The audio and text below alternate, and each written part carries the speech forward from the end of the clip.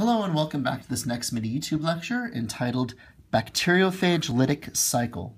Okay, so in the lecture we learned that a bacteriophage is a virus that infects bacterial cells. All right, so bacteriophage viruses are basically nothing then, nothing more than DNA that is protected by proteins, including the head proteins, tail,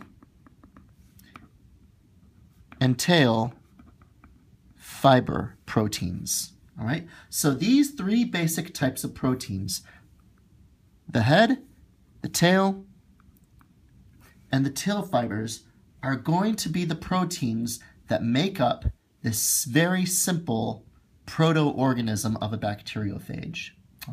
Now, the first step which occurs in the bacteriophage lytic cycle is viruses can attach via their table, tail fibers to the surface of a bacterial cell. So, viruses attach to the surface of a bacterial cell and inject their genetic material.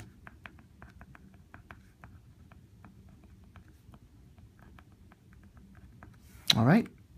The next thing that happens is once inside of this bacterial cell, then in this next step, the process of transcription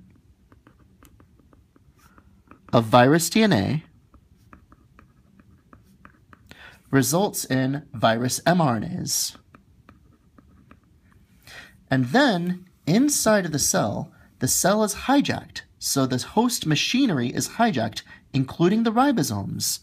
Then translation of viral RNAs, mRNAs, into the viral proteins. And we can see that each of these different protein components that make up a virus, all right, are created. All right, in this last step, this is cell lysis.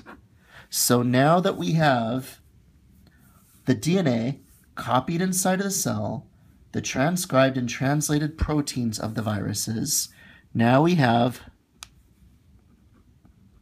new bacteriophage viruses with their double-stranded DNA genomes that burst out of the cell and that is the bacteriophage lytic cycle.